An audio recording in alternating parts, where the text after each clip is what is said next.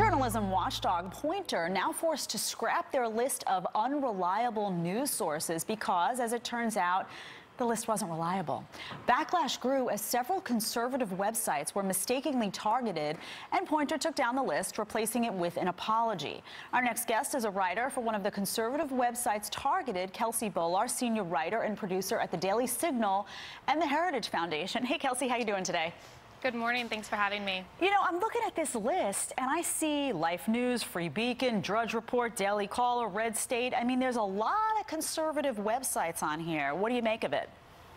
Yeah, well, very conveniently, most conservative news sites were grouped in and labeled uh, by Poynter as unreliable or fake news, which is a pretty serious smear coming from uh, what's supposed to be a nonprofit journalism institute. And conveniently, many of the far left news sites were left out of that. Think Progress, for example, which is run out of the, the Center for American Progress and The Intercept. So very clearly, conservative news sites were targeted, and most alarmingly, they were targeted to be blacklisted by advertisers. So what this Journalism Institute is really supporting here is, is choking out conservative news sites uh, from, from the public uh, through boycotts and bans via advertisers. That is not something anyone who supports journalism mm -hmm.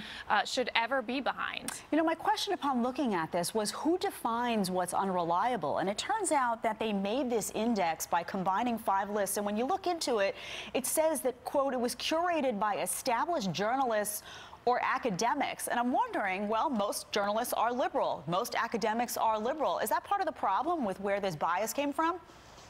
It's absolutely part of the problem. Sadly, what happened here is very reflective of the state of the mainstream media right now. We have come to learn that the person responsible uh, for making this list previously was associated with uh, the SPLC, which has a history of targeting conservative news sites.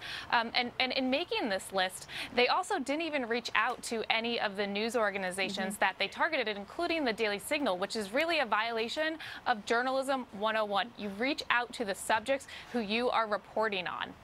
Uh, Kelsey, we have an excerpt from the original Poynter Index that called for the blacklisting. Quote, advertisers don't want to support publishers that might tar their brand with hate speech, falsehoods, or some kind of political messaging. But too often they have little choice in the matter. We hope that the Unnews Index will be useful for advertisers that want to stop funding misinformation. You have a response to that?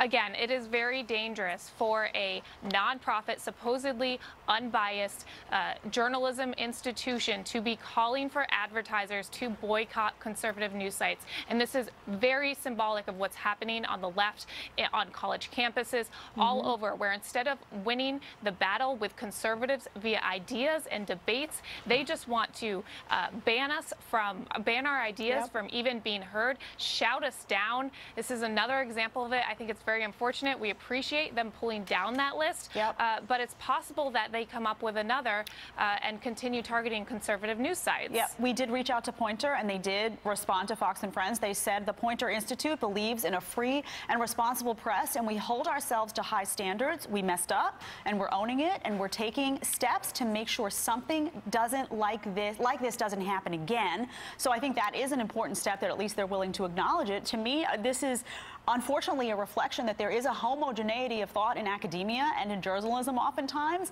And it's just what's been flagged is what is dissent? What is it offering a different perception of telling that news? So, Kelsey, I really appreciate you being here. Thank you so much for your input and glad to see their apology at least. It is one small step in the right direction. Thank you. Thanks so much.